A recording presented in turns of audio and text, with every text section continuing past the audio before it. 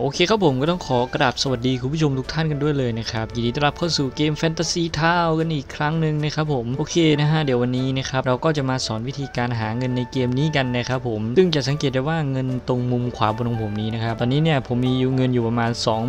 22,414 บาทนะครับซึ่งไอ้20,000เนี้ยนะครับผมหาได้มาภายในระยะเวลาทั้งหมด 1 อาทิตย์นะครับผมอันนี้ผมต้องย้ำว่า1อาทิตย์เท่านั้นนะครับเพราะว่าผมไปค้นพบแบบวิธีต่างๆ มามากมายนะครับซึ่งเกมนี้เนี่ยเขามีวิธีในการหาาเงินเยอะแยะมากมายเลยนะครับก็เดี๋ยวเราไปดูกันนะครับว่าทำยังไงบ้างนะครับในสำหรับวิธีของผมนะเออนะครับแต่อันดับแรกนะครับก่อนที่เราจะไปเลยนะครับเราไปดูกิจกรรมใหม่ของเกม Fantasy Town ก่อนเลยนะครับกิจกรรมใหม่นี้นะครับผมมีชื่อว่า Lock in สอยดาวนะครับผมเออนะครับก็จะเป็นกิจกรรมในหน้าตรงนี้นะครับผมนะกดเข้าสู่กิจกรรมไปเลยนะฮะนี่ครับก็จะอ่าเป็นกิจกรรมให้เราล็อกอินนะครับผมในแต่ละวันนะครับจนถึงวันที่ 26 ตุลาคมนี้นะครับผมซึ่งเราต้องล็อกอินทั้งหมด 3 เวลานะครับในแต่ละวันนะครับก็คือรอบแรกก็คือ 8 โมงถึงเที่ยงนะครับผมเราก็จะได้รับดาว 1 ดวงนะฮะรอบที่2นะครับก็จะเป็นรอบเที่ยงถึง 4 โมงเย็นนะครับรอบที่3นะครับตั้งแต่ 4 โมงเย็นถึง 2 ทุ่มนะครับผมเออถ้าเกิดว่าเราล็อกอินแต่ละเวลาเนี่ยในวันหนึ่งนะครับเราจะได้ดาวสูงสุด 3 ดวงนะครับผมซึ่งไอ้เจ้าดาวเนี้ยนะครับผม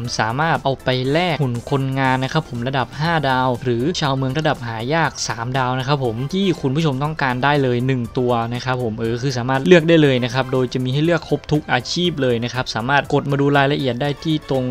รูปเครื่องหมายคำถามตรงมุมขวาตรงนี้นะครับผมแล้วก็เลื่อนดูว่าเขาจะมีตัวอะไรให้เราบ้างนะครับ นี่ก็เลื่อนมาที่หัวข้อที่ 4 นะนี่ครับก็มาดูเลยว่าคุณอยากได้ตัวไหนนะครับ คุณก็เก็บดาวไว้แล้วคุณก็รอแลกนะครับ ผมประมาณนี้นะครับอ่าเป็นกิจกรรมดีๆนะครับผมของเกม Fantasy Town นะครับอย่าลืมมาล็อกอินให้ครบทุกวันกันด้วยนะครับผมยังครับผมยังครับกิจกรรมยังไม่หมดเพียงแค่นี้นะครับซึ่งเกม Fantasy Town เนี่ยมีกิจกรรมอีกกิจกรรมหนึ่งนะครับผมชื่อว่าเจ้าเมืองแห่ง Wonderland นะครับเออเป็นกิจกรรมที่ให้เราสามารถไปร่วม โดยการคุณจะเห็นเอ่อฮอกิจกรรมตรงนี้นะครับเนี่ยคุณจะเห็นฮอกิจกรรมนะครับผมตรงนี้นะครับ กดเข้าไปนะครับผมนี่ก็จะให้เราทำเอ่อโบหูกระต่ายนะครับผมที่เอ่อร้านนี่ครับผมที่โรงทอผ้านะครับซึ่งไอ้เจ้าริบบิ้นสีแดงตรงนี้นะครับมันเรียกว่าริบบิ้นสีแดงนะริบบิ้นสีแดงนะครับผมต้องใช้เอ่อไพ่นะครับผมใช่ปะน่าจะเป็นไพ่นะครับซึ่งไอ้เจ้าไพ่เนี่ยนะครับมันจะเป็นเอ่อวัตถุดิบพิเศษนะครับที่เราจะสามารถหาได้เฉพาะช่วงกิจกรรมนี้เท่านั้นนะครับซึ่งวิธีการหาไอ้เจ้าไพ่ตัวนี้นะครับผมให้คุณเลื่อนนะครับผม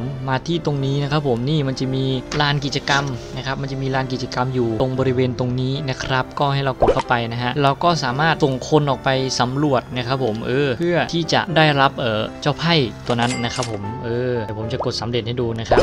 ซึ่งผมได้ส่งคนออกไปเป็นระดับ S บวกนะครับผม ซึ่งไอ้เจ้าระดับ S บวกเนี่ยนะครับเราก็จะได้ไพ่มาทั้งหมด 3 ชิ้นนะครับแล้วก็ถ้าเกิดว่าเป็นระดับ S ธรรมดาเนี่ยเราจะได้แค่ 2 ชิ้นนะครับแล้วก็ถ้าเป็น A เนี่ยเราจะได้แค่ 1 ชิ้นนะครับผมเออแนะนำว่าให้ส่งไปในระดับ S บวกนะครับก็คือเลือกคนที่มีค่าพลังในการโจมตีเยอะๆนะครับเลือกชาวเมืองที่มีค่าพลังโจมตีเยอะๆนะครับผมแล้วก็ส่งออกไปนะครับเออแล้วก็รอเวลานะก็คือจะใช้เวลาประมาณ 1 ชั่วโมงนะครับผมเออถ้าในระดับ S บวกเนี่ยเราจะได้ไพ่มาทั้งหมด 3 ใบนะครับผม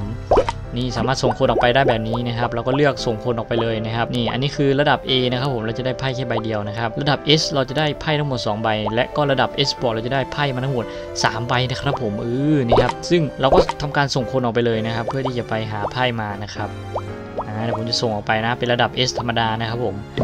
อ่านี่ครับ เมื่อเราได้ไพ่มาเสร็จแล้วเนี่ยนะครับให้เรามาที่ตรงเอ่อหอกิจกรรมตรงนี้นะครับเออเป็นหอกิจกรรม Waterland เนาะก็ให้เรามาผลิตนะครับผมตัวนี้นะครับริบบิ้นสีแดงนะครับผม ผลิตลงไปเลยนะครับ เมื่อเรามีไพ่แล้วก็ผลิตลงไปเลยนะครับ แล้วก็รอนะครับผมอ่าโอเคเมื่อเราได้ริบบิ้นสีแดงมาแล้วนะครับผมหนึ่งอันนะครับ ให้เรานะครับผมมาที่กิจกรรมตรงนี้เหมือนเดิมนะครับผม แล้วคุณก็จะเห็นเออไอเจ้า NPC กระต่ายมันเต้นอยู่นะครับ เป็น NPC กิจกรรมนะครับผมเออก็กดไปที่รูปกระต่ายนะครับ นี่มันก็จะเป็นแบบนี้นะครับ ให้เรากดคำว่าช่วยเหลือไปนะครับผมตอนนี้เออผมมีเออริบบิ้นสีแดงอยู่หนึ่งอันนะครับผมก็กดช่วยเหลือไปนะครับนี่ แล้วเราก็จะได้ของมานะครับผมนี่ซึ่งตอนนี้ผมอยู่ในขั้นตอนที่ 1 อยู่เห็นปะเออเนี่ยเห็นปะมันจะขึ้นมาขั้นตอนที่1นะครับเมื่อเราส่งครบทั้ง 3 อย่างตรงนี้นะครับผมแบบตามชิ้นเลยนะทั้งเครื่องดื่มดริงมีแล้วก็ขนมอีทมีแล้วก็กุญแจทองเนี่ยนะครับถ้าเกิดว่าเราสะสมครบหมดเลยก็คือมันรวมทั้งหมด 9 ชิ้นนะครับผมเออเมื่อส่งครบทั้งหมด 9 ชิ้นเนี่ยนะครับเราก็จะปลดล็อกขั้นต่อไปนะครับผมเออซึ่งมันมีทั้งหมด 3 ขั้นนะครับผมเออนะครับมันมีทั้งหมด 3 ขั้นนะครับผมแต่ละขั้นเนี่ยมันก็จะใช้อ่าไอเทมในการผลิตไม่เหมือนกันนะครับผมหแล้วก็สถานที่ในการผลิตเนี่ยจะไม่เหมือนกันด้วยนะครับเออสามารถไปร่วมกิจกรรมกันได้ ซึ่งกิจกรรมนี้นะครับผมจะแจกของขวัญตกแต่งนะครับผมชื่อของตกแต่งว่าปราสาท Heart Queen กันเลยนะครับผมเออซึ่งไอ้เจ้าของตกแต่งนี้เอาไปทำอะไรนะครับผมสามารถเอามาเพิ่มค่า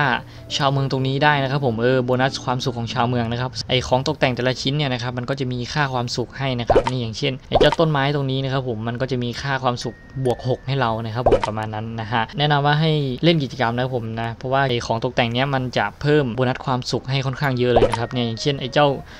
กลองตรงนี้นะครับผมเป็นเอ่อกิจกรรมที่ผมร่วมในเอ่อกิจกรรมที่แล้วมานะครับก็จะบวกให้ 60 เลยนะเออนะครับซึ่งเป็นเป็นค่าที่เยอะมากๆนะคือ ถ้าเกิดว่าเรามีค่าชาวเมืองเยอะๆเนี่ยนะครับเราจะยิ่งได้ XP เยอะขึ้นนะครับผมเออประมาณนั้นนะครับก็เป็นกิจกรรมดีๆนะครับผมแนะนำว่าให้ทุกคนไปร่วมกิจกรรมนี้กันด้วยนะครับแล้วก็นะครับอย่างสุดท้ายนะครับผมที่ผมจะฝากในคลิปนี้นะครับก็จะเป็นกิจกรรมปาร์ตี้น้ำชาเราเวงนะครับผมเป็นอ่าให้เราไปสุ่มนะครับชาวเมืองนะครับผมเออที่ มาในกิจกรรมนี้นะครับผมเออก็จะมีโอกาสได้ชาวเมืองระดับตำนานนะครับผมนะเดี๋ยวผมจะสุ่มเดี๋ยวผมจะสุ่มให้ดูนะครับผมหนึ่งชิ้นนะครับ มาดูกันว่าเราจะได้อะไรนะครับ ก็กิจกรรมนี้จะใช้รูบี้ในการสุ่มนะครับผมอ่าผมได้ระดับ 3 ดาวมาเลยนะครับ ผมได้โนรุโตนะครับนะ เองนะครับผมได้โนรูโตมานะครับก็ประมาณนี้นะครับผมสามารถร่วมกิจกรรมได้ที่ตรงนี้นะครับที่แฟนตาซีอินตรงนี้นะเป็นกิจเป็นบ้านกิจกรรมนะครับผมเออก็สามารถกดเข้ามาแล้วก็มาสุ่มกันได้นะครับผมโอเคนะครับผมกลับเข้าเรื่องของเรากันต่อนะครับวิธีการหาเงินเนี่ยนะครับผมมันก็มีหลากหลายวิธีนะครับผมซึ่งเอ่อ วิธีที่ผมจะแนะนำต่อไปนี้เนี่ยนะครับมันจะเป็นวิธีที่ทุกคนเนี่ยสามารถทำได้นะครับผมดับแรกนะครับผมวิธีการหาเงินก็คือหาเงินจากร้านค้าตรงนี้นะครับผมเออนะครับที่ผมค้นพบมานะเออก็เป็นร้านค้าตรงนี้นะครับแต่ว่าในร้านค้าตรงนี้เนี่ยมันจะมีข้อจำกัดอย่างหนึ่งก็คือว่าถ้าเกิดว่าเราขายของปกติเนี่ยนะครับของเนี่ยมันจะให้ราคาก็ราคาปกตินะครับแต่ถ้าเกิดว่าเราขายสินค้าที่มันมีไอ้เจ้าสัญลักษณ์เหรียญคูณ2นะครับก็คือเราจะขายของเนี่ยได้เยอะขึ้นนะครับในเราจะขายของได้ราคาเยอะขึ้นนะครับเออก็มันจะเป็นแบบเหมือนของขาดตลาดนะครับผมเหมือนตลาดเขาต้องการของชิ้นนั้นอยู่อะไรประมาณนี้นะครับถ้าเราขายของชิ้นนี้ไปเราจะได้เออเราจะได้เหรียญกลับมาคูณ2นะครับเออซึ่งหลายคนก็อาจจะรู้แล้วนะครับ แต่ว่าหลายคนอาจจะยังไม่รู้เนาะนะครับประมาณนี้นะครับเป็นวิธีหาเงินวิธีแรกนะเป็นวิธีง่ายๆนะครับผมวิธีหาเงินต่อมาก็คือส่ง quest เจ้ามังกรนะครับผมแต่ว่าส่ง quest เจ้ามังกรเนี่ยมันคือมันจะเน้นไปทาง EXP มากกว่านะครับเพราะว่ามันจะให้เออ EXP เนี่ยเยอะนะครับเออเงินมันก็เยอะเหมือนกันนะครับเออก็เป็นสถานที่หาเงินอีกวิธีหนึ่งนะครับผมที่ผมอยากจะแนะนำนะ ซึ่ง quest มังกรเนี่ย level น้อยๆเนี่ยก็ปลดล็อกแล้วนะครับผมแนะนำว่า ให้ส่ง quest มังกรบ่อยๆนะครับแล้วเราก็จะได้เงินมาเยอะนะครับผมเออเราจะได้เงินมาเรื่อยๆเลยนะครับแล้วก็อันต่อไปนะครับผมถ้าเกิดว่าเลเวลใครสูงขึ้นมานิดหน่อยแล้วนะครับก็จะปลดล็อกช้าง Express ตรงนี้นะครับผมก็ให้เราทำการส่ง quest ช้างตรงนี้นะครับผมเราก็จะได้เงินมานะครับค่อนข้างที่จะเยอะเลยนะครับอืมก็เป็นที่อีกที่หนึ่งนะครับผมในการหาเงินเนาะนะครับในสำหรับเกมนี้นะครับแล้วก็วิธีการหาเงินวิธีต่อมานี่คือผมอยากจะแนะนำมากนะครับผมให้คุณเนี่ยรีบ up level ให้มันถึงเร็วๆก็คือเจ้าวานเดลิเวอรี่นะครับผมเออซึ่งมันจะปลดล็อกประมาณเลเวล19 มั้งนะครับ 19 20 นี่แหละนะครับผมจำไม่ได้นะฮะหรือ 17 วะจำไม่ได้นะครับผมเออก็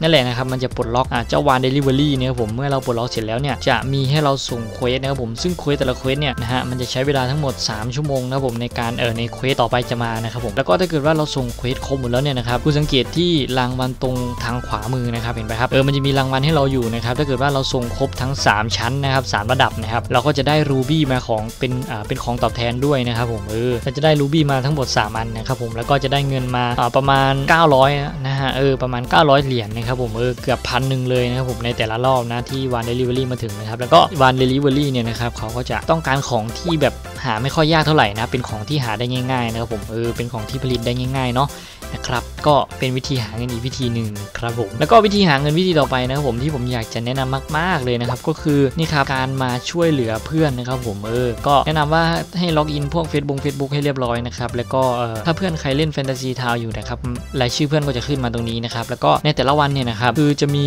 เอ่อบ้านให้เราช่วยเหลือเนี่ยนะครับ ไม่เหมือนกันนะครับผม เออ ก็มันมันจะมีหลายแบบหลายอย่างให้เราช่วยนะครับผม จะเป็นเอ่อพายุเข้านะครับหรือว่าจะเป็นฝนตกนี่เป็นไฟไหม้หรือจะเป็นพวกโทรบุก หรือจะเป็นเอ่อจับคราเครนอะไรพวกนี้นะครับก็แล้วแต่นะครับว่าเกมมันจะสุ่มมาให้เรายังไงนะครับผมเออเดี๋ยวผมจะลองไปดูก่อนนะครับฟาร์มแรกเนาะนะครับก็คือฟาร์มนี้นะครับก็คือฝนตกนะครับผมเออฝนตกตลอดเวลานะครับให้เราช่วยคือเขาให้เรามาช่วยนะครับแล้วก็กดไปที่เออลูกเมฆตรงนี้นะครับเออก็กดไปเลยนี่ครับเราก็จะได้เงินมานะครับผม เออแล้วก็จะได้เออนี่เขาก็จะสุ่ม item ให้เราด้วยนะ เวลาเราช่วยเหลือเขาเสร็จนะครับ รอบนี้เนี่ยผมได้เออทองนะครับ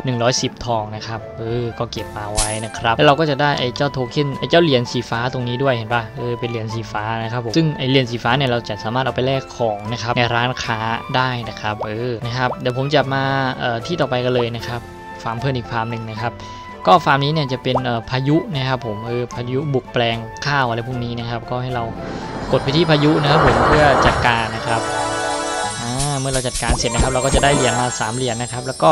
จะสุ่ม item นะครับผมตอนท้ายนะผมให้เราหนึ่งอย่างนะครับผมอาจจะเป็นเงินเป็น item อะไรต่างๆ ก็ได้นะครับ ประมาณนี้นะครับ แล้วก็อย่างต่อไปนะครับผมเป็นการช่วยเหลือเพื่อนนะครับ ผมโดยให้ จัดการ troll ที่มาบุกนะครับนะฮะอันดับแรกเขาก็จะให้เราเลือกจิ้มที่ไปที่เจ้า troll ก่อนนะครับผม 3 ตัวนะครับ คือตอนแรกมันจะโผล่มาก่อน 3 ตัวนะครับ ให้เราหานี่อันนี้ตัวที่2นะครับตัวหนึ่งนะครับผมก็หาไปนะครับมันอยู่ตรงไหนนี่อยู่ตรงนี้ครับก็กดไป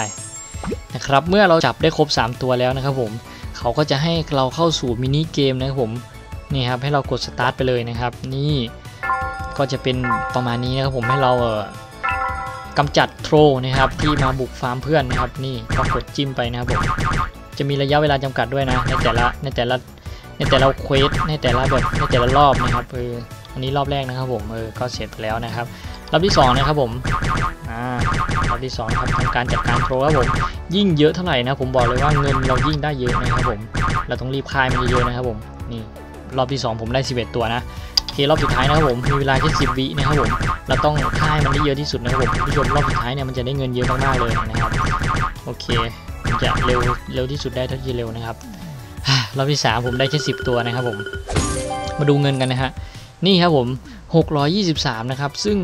จริงๆเนี่ยนะครับ ถ้าเกิดว่าเราทำรอบสุดท้ายได้เยอะกว่านี้นะครับ เงินมันจะขึ้นไปอีกนะครับผม เออ ผมเคยได้เงินมาสูงสุด 750 กว่าบาทเลยนะครับผม ในในการกำจัดโทรนะครับผม เออ ซึ่งรอบนี้ก็ได้มาแค่ 600 นะครับผมก็ยังถือว่าเยอะอยู่ดีนะครับซึ่งถ้าเกิดว่าเราเนี่ยทำวิธีการที่ผมบอกมาทั้งหมดเนี่ยไปพร้อม ๆ กันนะครับผมแบบแล้วก็แบบเออมีเวลาเล่นสักหน่อยหนึงนะครับแล้วก็ทำตามที่ผมบอกไปนะครับผมรับรองว่าคุณจะได้เงินมาเยอะมากๆภายใน 1 สัปดาห์นะครับผมไม่เชื่อลองไปทำกันดูนะครับลองไปทำกันดูนะฮะคือว่าใครหาวิธีหาเงินอยู่อะไรพวกนี้นะครับก็แนะนำให้ไปทำได้เลยนะครับโอเคประมาณนี้นะครับเป็นวิธีหาเงินที่ผมไปค้นพบมานะครับผม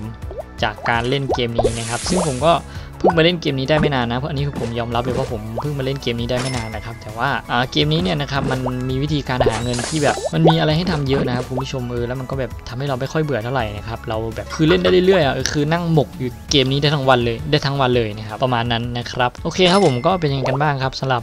วิธีการหาเงินที่ผมนำมาสอนคุณผู้ชมในวันนี้นะครับผมก็ถ้าเกิดว่าใครชอบคลิปนี้ก็ฝากกดไลค์กดติดตามเพื่อเป็นกำลังใจในการทำคลิปให้ผมด้วยเลยนะครับผมโอเคเอาไว้เจอกันใหม่ในคลิปหน้าครับฝากติดตามคลิปแฟนตาซีทาวผมด้วยนะครับผม โอเคนะครับ ก็ไม่มีอะไรมากแล้วนะครับ ในสำหรับวันนี้นะครับ ก็ต้องขอตัวลาไปก่อนไว้เจอกันใหม่ในคลิปหน้าครับผมสำหรับวันนี้สวัสดีครับ บ๊ายบาย